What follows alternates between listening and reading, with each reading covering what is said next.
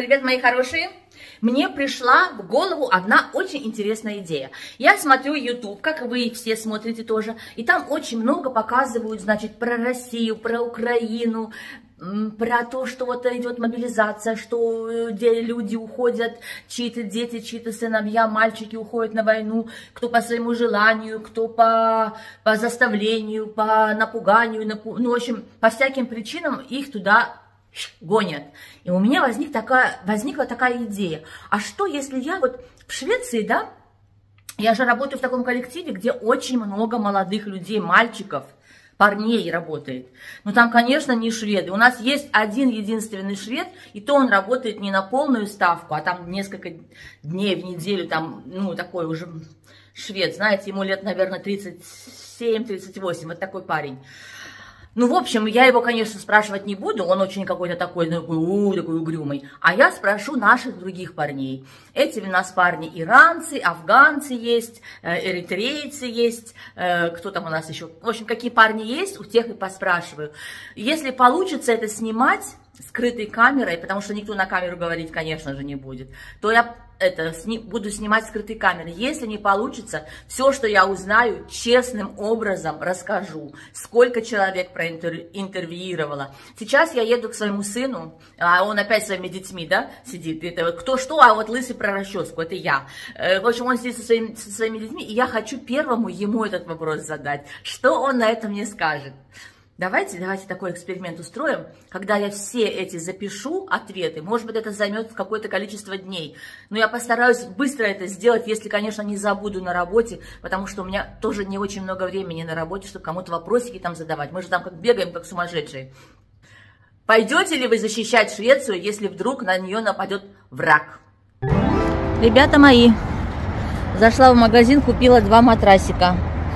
90 сантиметров ширину, 200 в длину и 9 в толщину.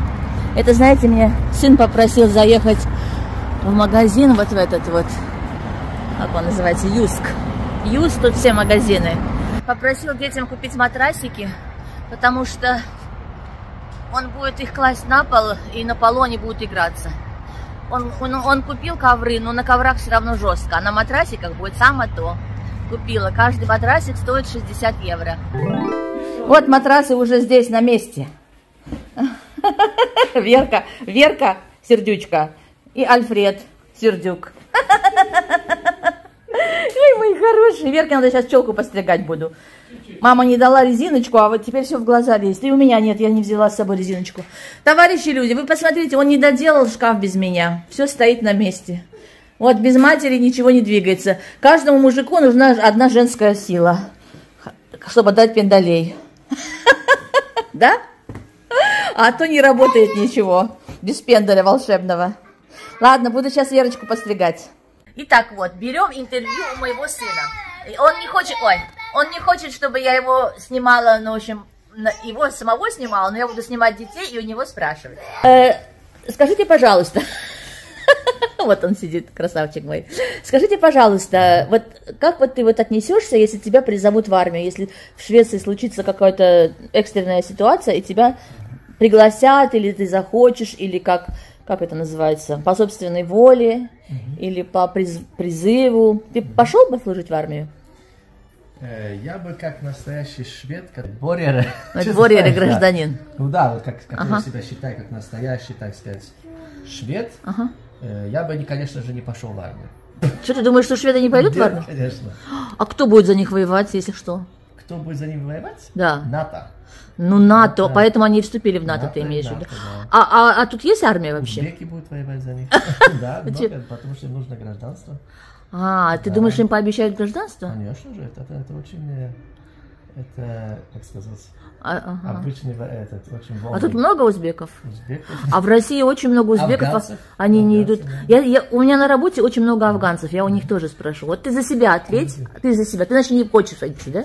Ни под каким у предлогом? У меня двое детей. У тебя двое детей. За что мне умирать? За что тебе умирать, да? За что? Да. Э, как его... У нас мир, как сказать, глобалистичный. Нет такого же понятия, вот моя родина там, это родина твоя земля. Да. Вот. Да. И ты должен, как сказать, человечество уберегать. а Да. не умирать за каких-то, которые за тебя там решили, деньги пилят, а ты, как сказать, главное. Да, но я же такой вопрос конкретный задала. Если нападение будет? Если будет нападение инопланетян, то тогда буду защищаться. В общем, никакой серьезности. Посмотрите на этого человека. Друзья мои, доброе утро. Уже сегодня другой день. Сейчас, вы знаете, только сейчас сделала себе кофе, подготовила здесь аппаратуру. В общем, слушайте, задала я этот вопрос вчера вечером на работе. И сегодня утром зятю специально позвонила с утра, пока он не уехал на работу, и тоже спросила у него. На работу пришла, как у нас, у нас там рой пчел. Много народу, ни- камеру никак не вытащишь и не будешь снимать. Я просто спросила, увидела на диване сидели два мальчика, я подошла к ним более-менее тихо, постаралась серьезно у них спросить. Одному парню, значит, один был парень эритреец, другой был афганец, Одному 23, другому 24 года. Я у них спрашиваю, если вот такая сейчас в мире ситуация, сейчас идет вот такое нагнетение э, обстановки, если вдруг начнется война, что вы будете делать? Пойдете ли вы в армию? Что, какие ваши действия будут? Вы знаете, никто не берет на серьезность, никто серьезно не отвечает. Все стараются шутками, прибаутками э, отвечать на этот вопрос. Я вообще удивляюсь. Ник- Люди что, не понимают, что ли? И начали шутить, смеяться, ахаха, хихи. Мы, говорит, уедем. Мы сюда приехали не для этого. Мы, я один афганец говорит, я в Афганистан уеду, говорит, а другой говорит, я в Эритрею уеду. Но я не знаю, никто серьезно не берет это. Но у меня не было много времени, чтобы конкретно серьезно еще с кем-то поговорить. Ну хорошо, вот вы поняли, как мой сын ответил, шут- шутит, да? Как эти мальчики ответили. И вот сейчас утром позвонила своей дочке по снапчату, по видеоразговору, как раз у нее муж сидел за столом и э, кофе пил. Я тоже кофе пью. И, в общем, я у него спрашиваю, что ты будешь делать, если вдруг будет придут... А он говорит, кто придет? Русские придут. Я говорю, я, ну не, не, не важно, кто придет, но вдруг будет такая ситуация. По телеку уже постоянно, по новостям это говорят, что вот готовьтесь, подготавливайтесь. Вы знаете, что он мне сказал? Он говорит, я поеду, говорит, я знаю одно место, где можно... де- Он, он на английском говорит половину, половину на шведском. Говорит, как-то я хорошо не поняла, какое-то место, э, я говорит, знаю, там можно взять много денег, я не знаю, наверное, из кассы вытащить много денег, из банкомата, что ли, или как... Ну, у нас же тоже лимит стоит на как сколько можно денег вытащить со своего счета.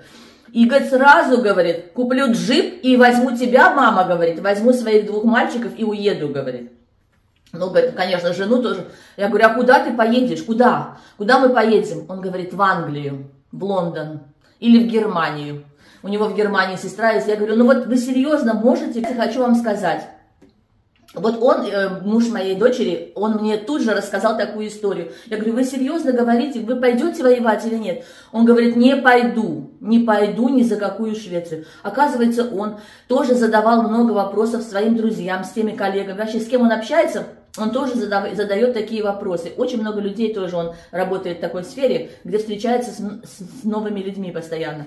И он тоже задает такие вопросы. Никто не хочет воевать идти. Никто. В Швеции это даже не понимают. Почему я вообще начала этот, это видео, решила это сделать? Потому что в ТикТоке тоже я встречала, я вам и раньше говорила, как ин- ин- иностранцы инвандеры к этому относятся. Что они говорят? Вот потому что нагнетение идет по телеку. Готовьтесь, там крематории новые строят, чтобы сжигать тела, кладбища новые строят, гробы там для кого-то там э, делают, колотят, колотят. В общем, я давно вам эти уже истории все рассказываю. Но, но вот сейчас такая обстановка пошла, да, еще, короче, градус повышается. И никто не берет на серьезность. Вот мы, зачем мы в НАТО вступили, пускай НАТО нас защищает.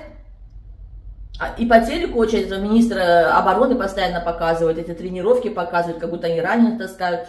В общем, вот такое дело. Никто не хочет.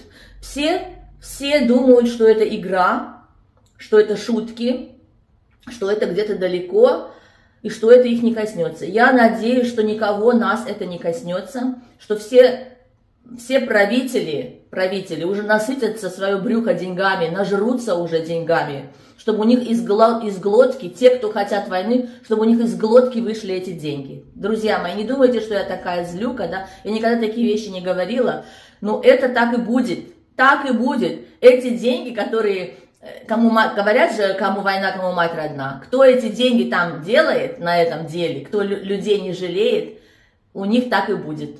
Вот вспомните меня потом. Ладно, мои хорошие, никто не хочет воевать, никто, даже говорить об этом не хотят. Это очень тяжело даже об этом говорить.